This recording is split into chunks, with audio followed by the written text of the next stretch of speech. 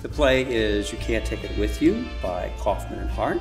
It's a wonderful, zany, madcap comedy about uh, a family named the Sycamores who have decided that they're going to follow their passion, live their bliss, and uh, just enjoy life. They're a little bit eccentric. They all live together in a beautiful home with a lot of other people who kind of just move in with them. You're going to see a very drunk actress. It's funny, it makes you think, it brings you joy. You're going to see a crazy Russian. You will see fireworks and you will smell blintzes. Oh, delicious. I had the opportunity to learn Russian while I was in the United States Army. So I'm able to, I hope, present an interesting character who is Russian. You're going to see masks on the wall. You're going to see the worst artwork you might have ever seen. And you're going to see a family that really cares about each other. You Can't Take It With You is set in a old Victorian home that's been in this family for generations.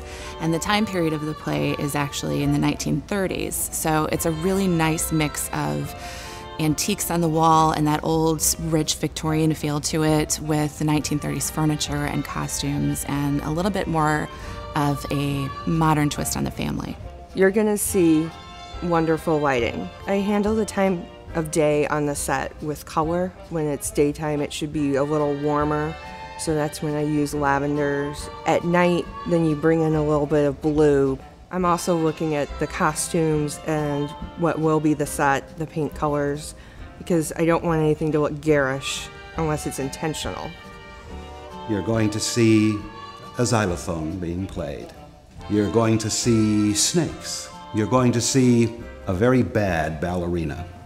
This role of Grandpa that I'm playing is actually the very first role I ever played in high school. I was a senior. Now it's 50 years later, and uh, I think I can bring a little bit of life experience to the role and do it a heck of a lot better than a 17 year old, you know.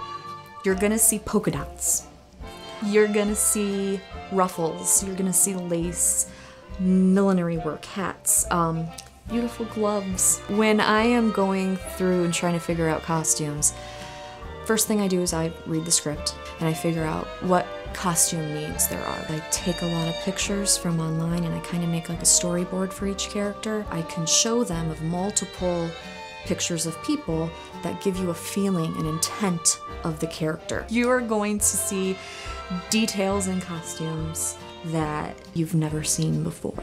You should come to see You Can't Take It With You by Kaufman and Hart at Memorial Opera House because it is a fun, funny, zany comedy with fantastic characters played by some of the most talented people in Northwest Indiana.